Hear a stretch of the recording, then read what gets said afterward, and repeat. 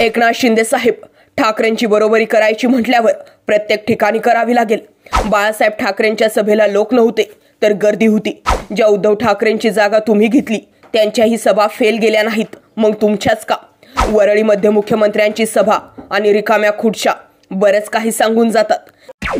नेमकं घडलंय काय? हे समजून घेण्यासाठी हा रिपोर्ट शेवटपर्यंत पाहणं गरजेचं आहे. मुख्यमंत्री म्हणून एकनाथ शिंदेंनी शपथ घेतल्यानंतरच उद्धव ठाकरे हे नेतृत्व आम्हाला मान्य नाही. तर आम्हाला एकनाथ शिंदेचं नेतृत्व मान्य आहे असं बंडखोर म्हणू लागले. उद्धव ठाकरेंपेक्षा एकनाथ शिंदे कसे बरे हे नेहमीच बंडखोर आमदार पटवून देत आहेत.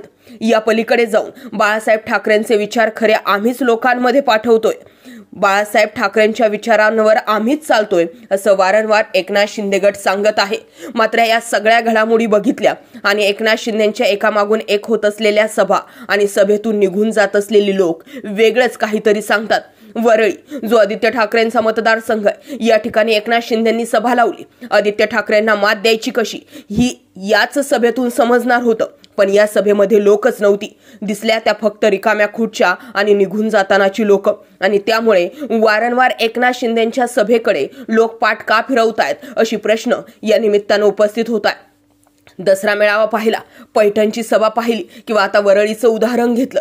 या ठिकाणी बऱ्याचदा असं दिसून आलेलं आहे की ज्या ज्या ठिकाणी एकनाथ शिंदेची सभा लागते त्या त्या ठिकाणाहून लोक निघून जातात. ठाकरे गटाच्या बालेकिल्ल्याला खिंडार पाडण्याचे प्रयत्न भाजप आणि शिंदे गटाकडून सुरू आहेत. गेल्या काही दिवसांपासून शिवसेना नेते आदित्य ठाकरे आणि शिंदे गट यांच्या शाब्दिक वाद सुरू आहे मी राजीनामा देतो. एकनाथ शिंदेंनी वरळीतून लढून दाखवावे असं आव्हान आदित्य ठाकरेंनी दिलं होतं. या पार्श्वभूमीवर शिंदे गट आणि भाजपनं यावेळी आदित्य ठाकरे यांच्या आव्हानाला प्रत्युत्तर देण्याचा प्रयत्न नागरी सत्कार सोहळ्यातून केला.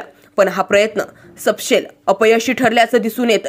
एकनाथ शिंदेच्या सभेकडे लोकांनी पाठ फिरवली आणि पुन्हा एकदा जो मेसेज जायचा तोच मेसेज महाराष्ट्रात गेला की अजूनही उद्धव ठाकरेंच्या जागी स्वतःची रिप्लेसमेंट एकनाथ शिंदे करू शकले नाही. लोकांच्या मनामध्ये अजूनही एकनाथ शिंदे आलेच नाहीत आणि त्यामुळेच लोकसभेतून निघून जात आहेत का असा प्रश्न निर्माण होतोय. विरोधकांकडून तर टीका अशीही केली जाते पन्नास खोके आमदारांना देता आले पण सर्वसामान्य जनतेला कशी देणार?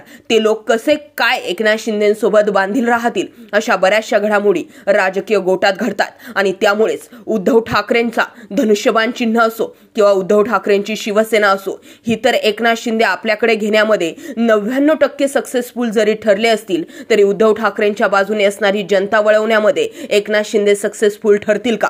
कमेंटमध्ये व्यक्त व्हा. मुद्दा विषय आवडला असेल तर जास्तीत जास्त लोकांपर्यंत जरूर शेअर करा. आणि या व्हिडिओबाबत तुमचं काय मत आहे हेही कमेंट करून नक्की कळवा.